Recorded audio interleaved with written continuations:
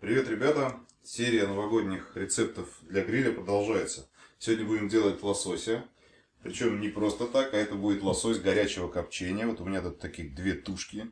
Две, вернее, два филе больших. Каждая примерно по килограмм, килограмм сто. И сейчас мы это все дело закоптим в режиме low and slow на угольном гриле. Да, сразу хочу сказать, что этот рецепт, к сожалению, не универсальный. То есть сделать его на газовом гриле или на электрическом будет затруднительно. Вот. Но вы, конечно, можете попробовать, но на газовом точно будет слабо, потому что на газовом копчение не такое явное, как на угольном. Вот. А этот рецепт можно спокойно сделать на угольном гриле 57 сантиметров и на коптильне. Точно. Да, кстати, хочу вам еще, так сказать, вот, э, прорекламировать этот рецепт. Чем? Тем, что он, скажем так, относительно быстрый. Потому что он не требует длительного маринования рыбы. То есть мы это будем делать с сухим маринадом, и она у нас будет стоять всего-навсего под ним где-то часа два, вот, ну максимум три. То есть, вот. А потом уже начнем коптить. Теперь обзор ингредиентов, что нам будет нужно. На самом деле не очень много. Традиционно оливковое масло, перец, а, соль. Я взял вот такую вот морскую крупную соль. Соль, кстати, не иодированная должна быть, то есть обычная соль. А, сахар, а, я использую, использую коричневый эстрагон. Кстати, эстрагон можно не добавлять. Тут на самом деле опциональная вещь. А, виски. Можно взять бурбон совершенно спокойно. А, сметана пожиже, там 10-15%. Лимон, апельсин и небольшой пучок укропа.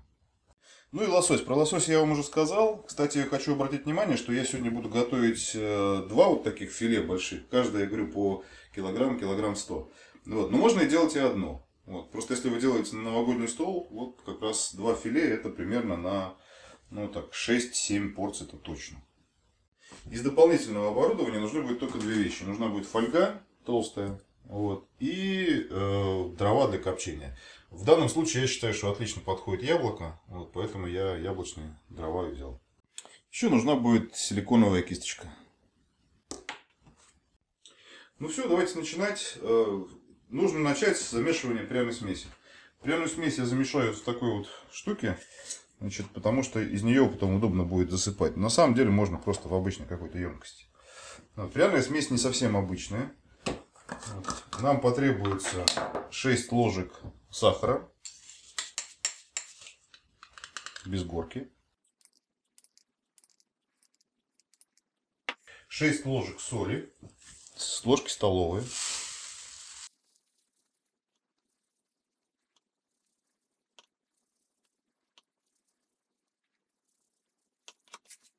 И 4 э, чайные ложки свежемолотого перца. На самом деле можно использовать сразу молотый перец, но тогда он, поскольку он мелкий, лучше использовать не 4, а где-то ну, 2, наверное. Вот. А и поскольку я буду молоть, то 4.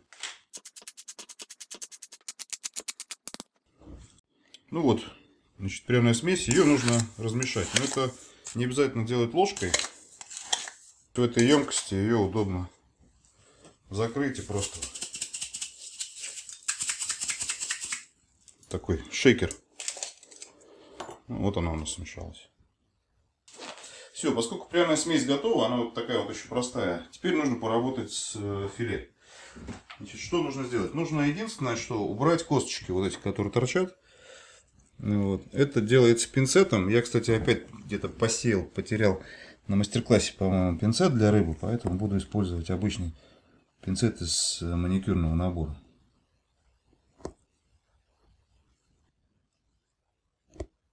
Ну вот сейчас я это увлекательнейшее занятие закончу, а мы продолжим. Ну все, процедура закончена. Вот, вот они косточки. Все, теперь ее нужно посыпать пряностями. Значит, смотрите, кстати, по поводу забыл сказать. Я, видите, ее рыбку держу на таком типа а подносе. Можно очень удобно на подносе это делать. А, вот, потому что с нее может сок течь, ну и плюс еще пряная смесь будет рассыпаться. Я прям вот на этой крышке уберу ее в холодильник. После того, как мы засыпем пряной смесью, она должна будет полежать. Вот, теперь в ход идет эстрагон. Эстрагона нужно, ну, на самом деле по вкусу, я еще раз говорю, что его можно было не добавлять. Вот, ну, примерно там 3-4 чайных ложечки. Вот прям посыпать рыбу сверху. Ну вот. А теперь идет вход наша пряная смесь. Ей нужно прям щедро посыпать филе вот со стороны мяса.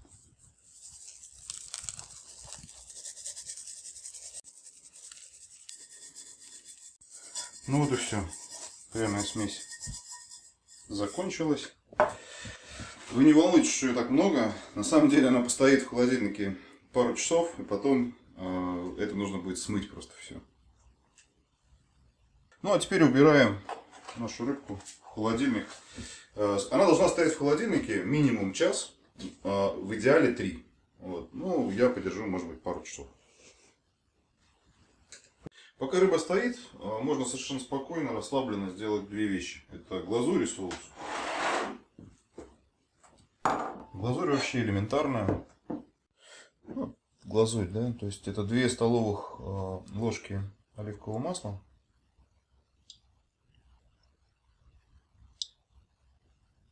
И 2 столовых ложки виски.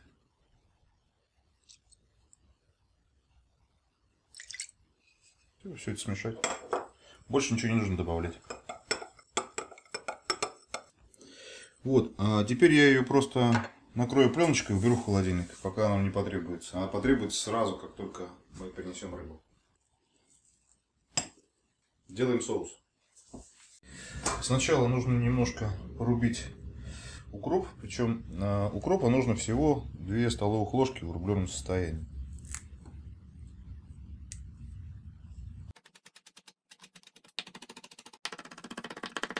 Ну вот, не то чтобы совсем в кашу, так вот средненько. Теперь берем пол банки сметаны.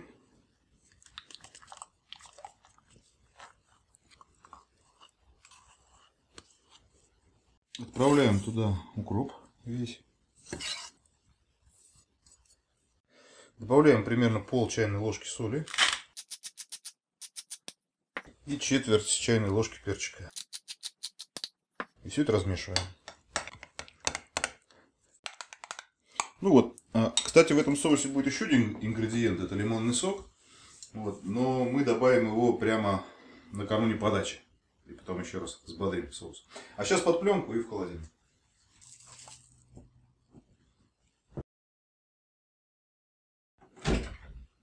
Ну вот, ребята, смотрите, два часа прошло. Вот как она выглядит через два часа. Кстати, обратите внимание, что она покраснела, стала более красной. Ну и вот сок выделился. Теперь ее нужно просто а, помыть под холодной водой, ну вернее смыть вот эти вот остатки пряной смеси.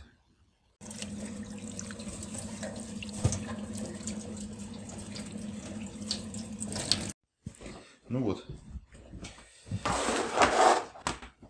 Сейчас ее нужно обсушить хорошенько бумажным полотенцем, чтобы всю излишнюю влагу снять.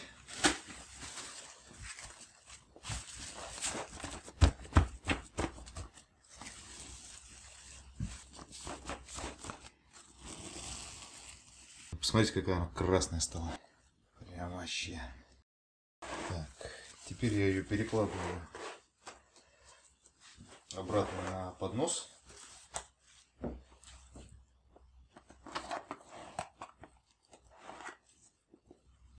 А вот теперь пришла очередь нашей смеси виски с э, оливковым маслом. Я его взбадриваю кисточкой и просто наношу сверху на рыбу.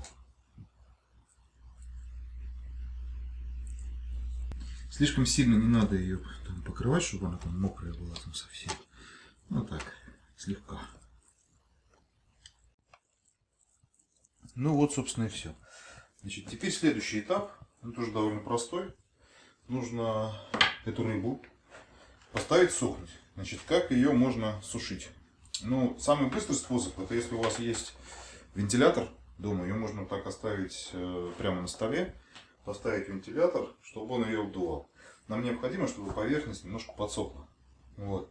А если с вентилятором, то это где-то минут 30. Если без вентилятора, то это час-два а, в холодильнике. То есть, я сейчас ее унесу в холодильник. Но мне, кстати, повезло, у меня в холодильнике есть вентилятор. Я ее поставлю под вентилятор холодильника.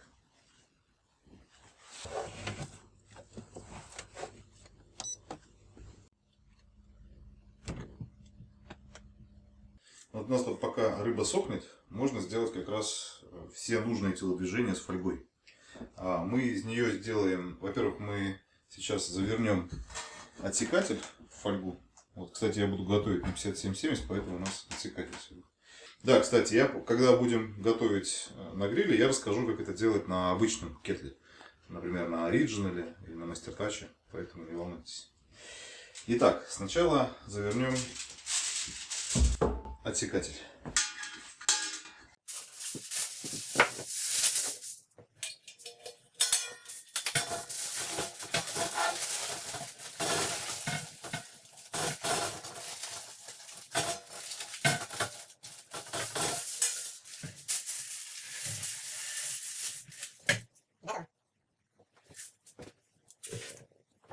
А теперь нужно сделать две подложки под рыбу. Мы будем готовить на решетке, конечно, но она будет лежать не просто на решетке, а она будет лежать на фольге.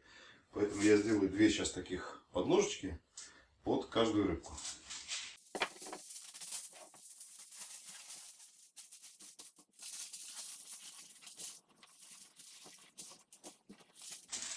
Ну, такого типа.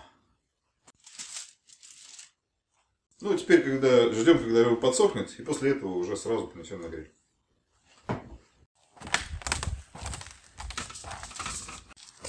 Ну вот, ребят, у нас там 30 минут осталось до тех пор, пока рыба подсохнет. Она там прекрасно сохнет, кстати. Вот, и можно уже заводить гриль. Значит, поскольку мы готовим с вами в режиме слабого жара, нам нужно, чтобы температура была где-то в районе 120-140 градусов.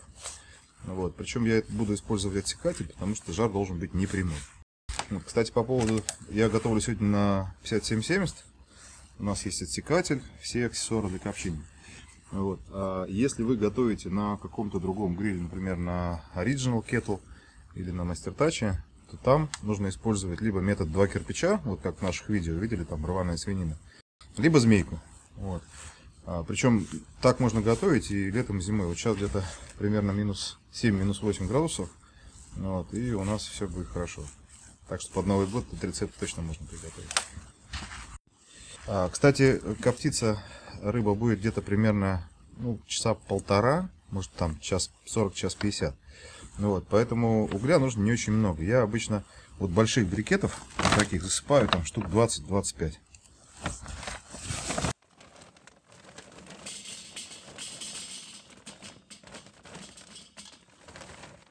Вот, и сразу возьму дровишки.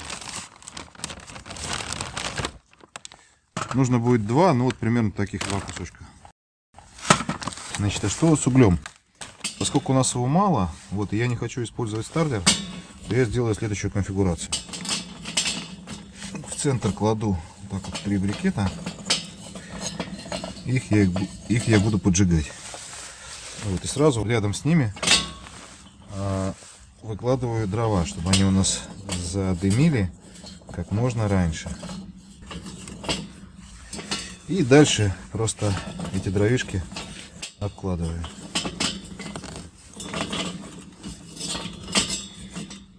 На самом деле даже многовато угля получилось, но ничего. Ну вот примерно так. Вот таким образом организовываем. И теперь просто поджигаем уголь. Я подожгу его горелкой.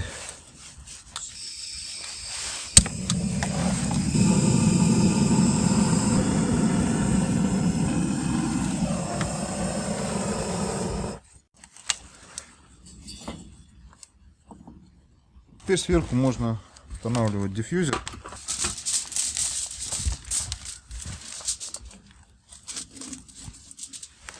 Дальше решетка, как обычно все.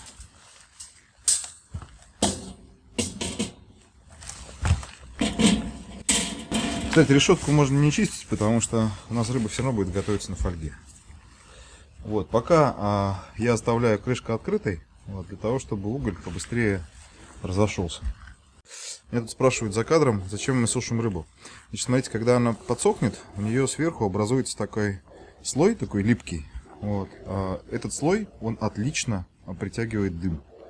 То есть именно вот для этого мы ее под, под, под, подсушили. Если она будет сырая, то дыма к ней прилипнет меньше, и, соответственно, уже копчение будет не такое эффективное.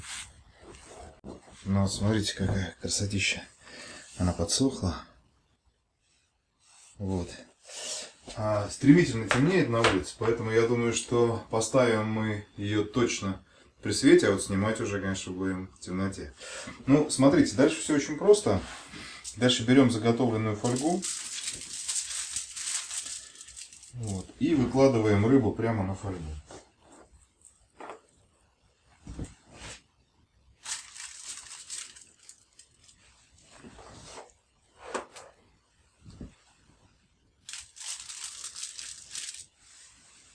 Все, теперь это все несем на гриль. Поехали. Ну, смотрите, как уже зачетно дымит. Отлично. Вот. Кстати, гриль еще холодный. Вот, он даже... Да, он еще холодный. И это очень здорово. Значит, почему? Потому что к холодным продуктам, а, вообще в принципе, и в холодном, а, скажем так, окружении дым прилипает лучше. А дальше все просто. Выкладываем рыбу на решетку.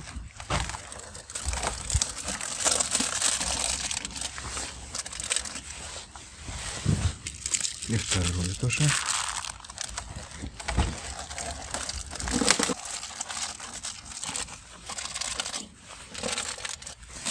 Я делаю такие небольшие бортики, чтобы потом легче снимать было. Вот. И закрываем гриль. Еще иней. Кстати, по поводу верхних нижних заслонок. Вот у нас верхняя заслонка замерзла. Отогревать надо. Вот что значит оставлять гриль без чехла на улице. Я говорил, меня многие спрашивают, типа, зачем чехол, зачем? А вот для вот этого.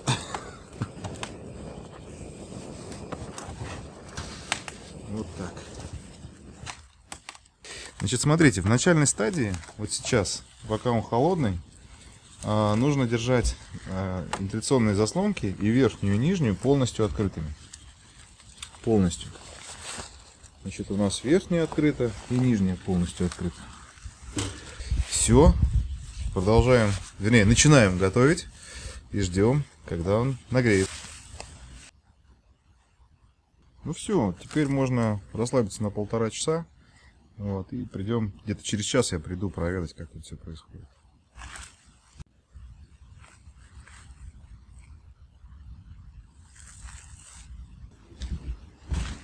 Так, ну что, посмотрим, что у нас тут. Да, вот смотрите, 90 градусов, самое оно. Вот сейчас пришло время а, прикрыть заслонки. Я закрываю нижнюю заслонку и ставлю ее на режим копчения. Вот сюда, на эту точку, над дымком. Вот. И все. Можно дальше коптить совершенно спокойно. Кстати, прошло 40 минут, и я еще забыл сказать, что вот э, нужно готовить, я сказал, что нужно готовить от полутора-двух часов, но на самом деле э, можно термометром измерять температуру рыбы. Она, э, когда будет готова, у нее температура будет порядка 60 градусов. То есть вот в этот момент ее уже можно будет снимать. Так, ну что, прошло полтора часа. Контрольная проверка. Температура 115. Прекрасно. Сейчас на рыбку заглянем. О, какая прелесть. Да. Ну, по-моему, она уже готова, я уже вижу. Можно снимать, сейчас я замерю ее.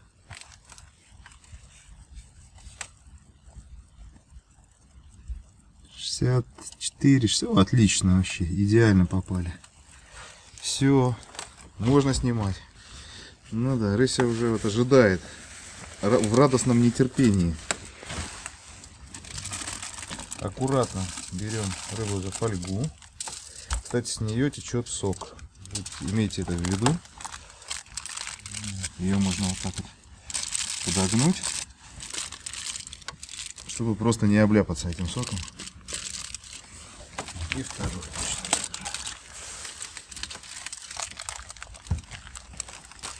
О, сколько сока там.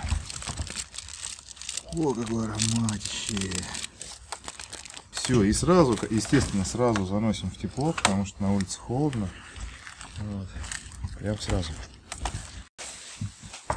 копченое филе лосося.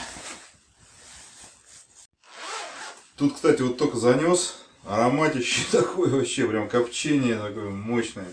Отлично, сейчас будем пробовать. Ну что, приступим. Я сейчас их просто сдвигаю. Аккуратно, чтобы сок не потек. На стол. Ну и помните, да, у нас еще апельсин и лимон. Что с ними нужно сделать? А, нужно взять цедру половинки лимона и цедру половинки апельсина. Кстати, да, снимаем только желтую часть. Вот у нас цедра лимона. Кстати, если делаете больше, можно цедры больше сделать. Ну, там весь лимон, например, или пару лимонов. А теперь апельсин.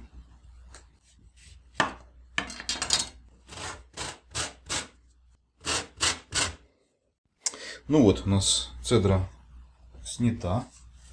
Кстати, цедра здесь в данном рецепте не просто для украшения используется, она придает аромат и вкус, отлично сочетается, кстати, с копченой рыбой вообще идеально. Цедру пока уберем. И лимон. Нам нужно примерно столовую ложку сока лимона. О, лимон, кстати, отличный. Это узбекский лимон. Вот, выдавить ее прямо в соус. Тут даже больше, чем столовая ложка. Теперь соус перемешиваем, взбадриваем его.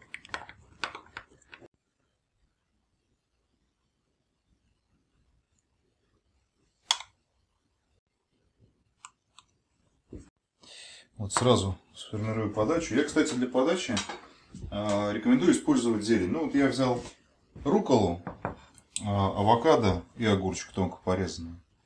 Вот сейчас я на них выложу лосося, а соус подадим отдельно. Теперь снимаем лосося с фольги. Он, по идее, должен достаточно легко отойти, потому что обычно рыба здесь не прикипает к фольге. Вот. Ну, если он даже не отходит, то можно его просто от кожи отделить. Вот. И тут же, кстати, можно его поднадрезать, чтобы легче было снимать. Ну, то есть, например, вот так.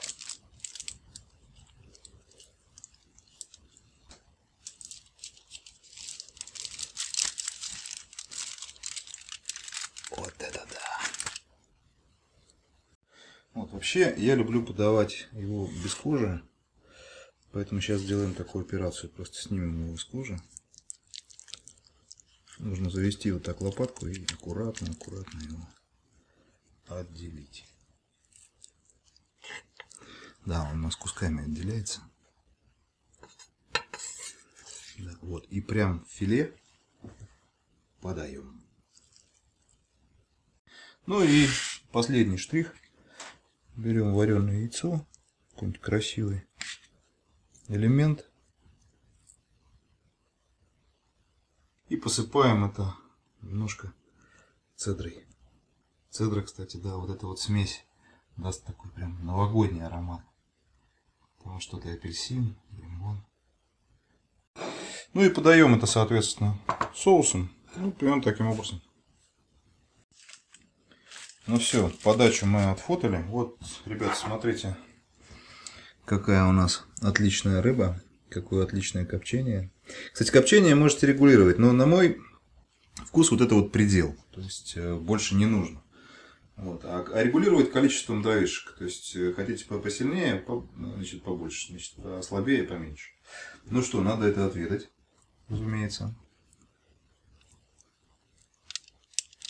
О, да.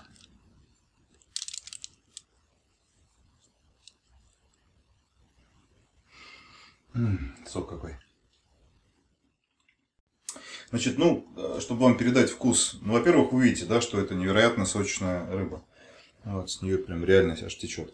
Вот. Во-вторых, э, копчение, вот я уже сказал, да, что больше не надо, потому что, на мой взгляд, дальше уже будет, эм, копчение будет уже конкурировать, спорить с рыбой, со вкусом самого мяса. Вот здесь прям самый идеальный вариант. Еще мне очень нравится баланс э, сладости, потому что сахар дал сладость, легкую такую сластинку, Вот. И соли здесь тоже, ну, прям вот идеальное количество, ни больше, ни меньше, ничего не добавить, не, не убрать. Вот. И пряности, вот э, у меня за кадром народ переживал, там, типа, немного ли перца, 4 там, э, чайных ложки, перец, ребят, только для аромата, он здесь практически не чувствуется никакой остроты.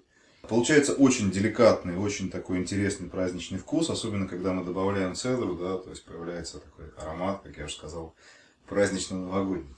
Вот, я еще хочу попробовать с э, соусом. Вот это дело. И чуть-чуть, буквально капельку соуса.